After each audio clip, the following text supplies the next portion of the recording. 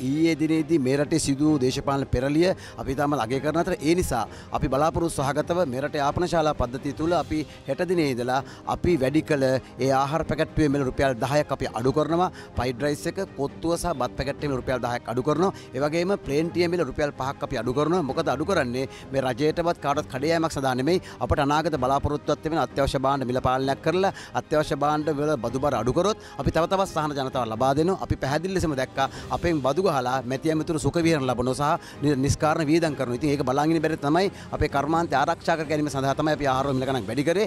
අපි අද දිනේදී මේක දැන් තීරණය ලබා දෙන්නේ මොකද අපේ හෝටල් පද්ධතියට අපේ ආහාරපාන ක්‍රියාවලියට මේ නව වර්තමාන අග්‍රාමාත්‍යවර මහින්ද රාජපක්ෂ ඇමතිව ජනා අගමැතිවරයා දැවන්ත ක්‍රියාමාරය ගනිවි කියලා අපි බලාපොරොත්තු වෙනවා. ඒ බලාපොරොත්තු විශ්වාසෙමත් තමයි අපි ආහාර මිල ගණන් අඩු කරන්නේ.